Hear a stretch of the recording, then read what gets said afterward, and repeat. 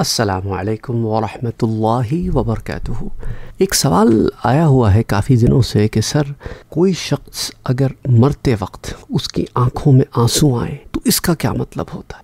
देखिए, मौत के बाद आँसू का आना, ये तो कोई और वजह हो सकती है। लेकिन जब तक रूह बॉडी में इंटैक्ट है, तब आंसुओं का आना या रूह जब जिसम से निकलने वाली हो, तब आंसुओं का आना ये एक अलग मामला है। इस ज़मीन में मैं आपको दो किताबों का हवाला देता हूँ। एक इमाम गज़ाली की अहियालूम की जिल्द नंबर चार, सफ़ा नंबर 465 और दूसरी हकीम तिरमिज़ी की किताब नवादिरुल उसूल।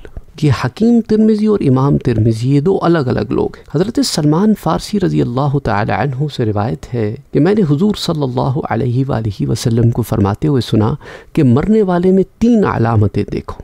उनमें से एक अलामत जो है, वो आँखों में आंसुओं का आना है।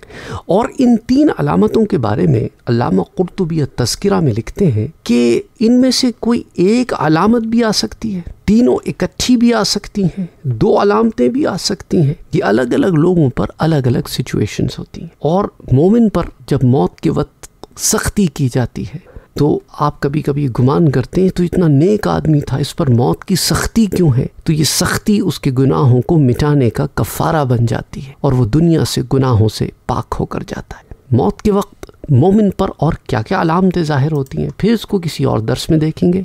आज सिर्फ़ इस सवाल का जवाब बताना आपको मकसूद था।